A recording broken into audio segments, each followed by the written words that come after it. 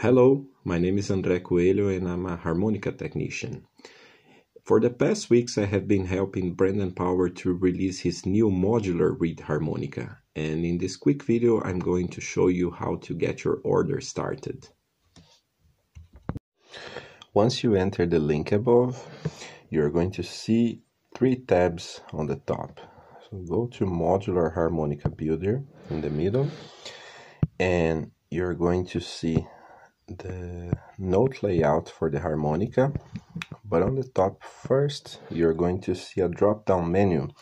So that should save you time because you don't have to build your um, at least the, the most common custom tunings are already available on this drop down menu. So you can go from Richter to Paddy to solo, pentaharp, harmonic minor and many more here um, but for now, let's stay with Richter tuning.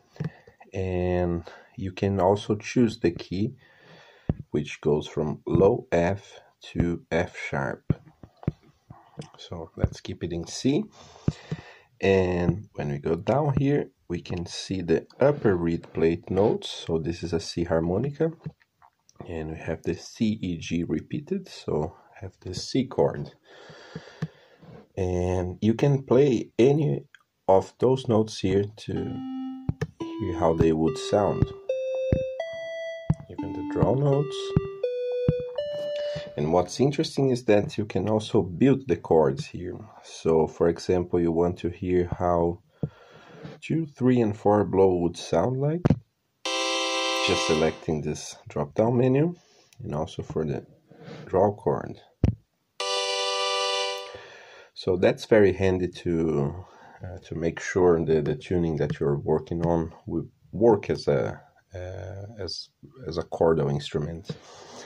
And well, let's say now that you have a standard C harmonica, but you want to make a custom tuning and just change the three draw, for example, instead of B you want B flat and just make sure that you choose a note that is in the same octave range as the one before. So instead of B4, we go to B flat 4. And there it is. And now the lower chord will sound like that. Great. And once you're happy with the tuning that you made, you just have to add to cart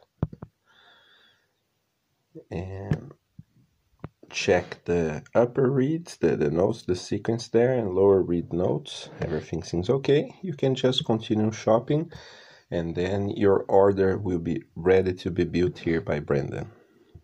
Cheers!